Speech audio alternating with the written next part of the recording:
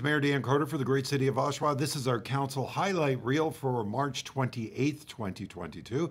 First and foremost, we're into the uh, spring season, so that's great news. We're looking forward to events returning to the city. We're excited about that. And of course, Canada Day will be kicking off on July 1st. More details to come, but a great uh, council meeting that we had on Monday, the 28th.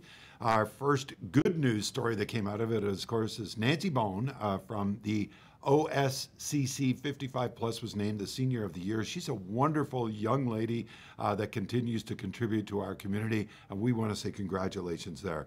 Uh, big news, of course, that we've been dealing with is the noise abatement study that uh, has been undertaken by the Oshawa Executive Airport. We're continuing to work with the federal government and the Minister of Transportation to put forward our ideas to find a way of being able to lessen the uh, impact on our community. This is all part of a regulation that we have to follow. It is entitled Regulation 302002.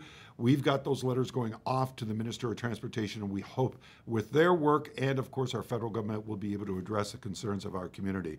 We continue uh, to be able to see that things are changing. COVID is still with us. We're asking people to continue to be cautious, continue to wear masks in public places. I know it's a personal choice, but we're just uh, passing on that advice. And of course, Monday morning at 9 o'clock in the morning, all eight municipalities lifted their state of emergency, including our regional government. We wanted to take the opportunity to thank all of those that helped us through that 24 month period. But it is good news. The local government has lifted the state of emergency. And last piece of news, of course, comes down to a study that's done on a yearly basis by BMA, and that looks at your financial health as a municipality. Once again, Oshawa is moving up the ladder, and our finances are in great shape. We're doing a wonderful job in regards to looking after your tax dollars, but thank you to each and every one of, of you for your belief in local government and continuing to support us as we continue to move forward as the great city of Oshawa. Well, that's the council highlight reel for the March 28th meeting. I look forward to being with you once again. I'm Dan Carter, the mayor for the great city of Oshawa.